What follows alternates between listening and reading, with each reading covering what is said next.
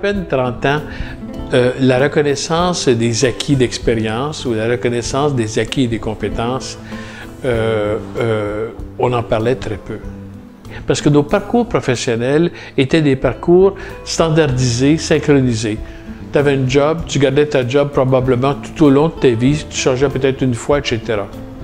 Mais dans le marché du travail d'aujourd'hui, où nos parcours professionnels vont être marqués peut-être par 6, 7, 8, 9 et même 10 transitions, l'importance de faire reconnaître euh, les compétences, euh, c'est à la fois important pour le sujet, mais c'est important aussi pour l'employeur, etc. Et donc, c'est devenu euh, un enjeu extrêmement important.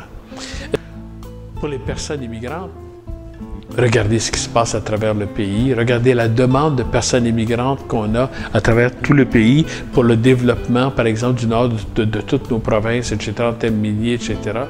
Il est clair que là, mais cette espèce de difficulté qu'on a de faire reconnaître les compétences acquises ailleurs que dans nos universités ou nos collèges est un problème majeur. Et ça, c'est clair, on perd beaucoup, beaucoup, beaucoup à travers ça. Et les individus perdent. Si moi, euh, j'ai acquis euh, toute une compétence par moi-même, euh, écoutez, regardez vos curriculums vitae analysez le dernier curriculum vitae que vous avez, écrit. Regardez votre chapitre éducation et répondez à la question suivante. Est-ce que ça, ça décrit toutes mes compétences? Évidemment, c'est non.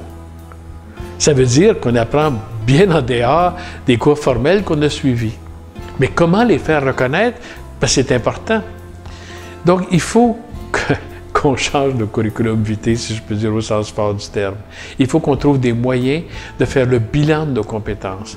Faire le bilan de nos compétences pour deux raisons. D'abord, pour nous faire reconnaître, mais aussi pour faire un point dans ma vie. C'est clair que plus les vies s'allongent et plus l'incertitude se multiplie dans tous les champs d'activité, plus on a besoin de gens capables de réapprendre constamment par eux-mêmes dans tous les champs de la vie.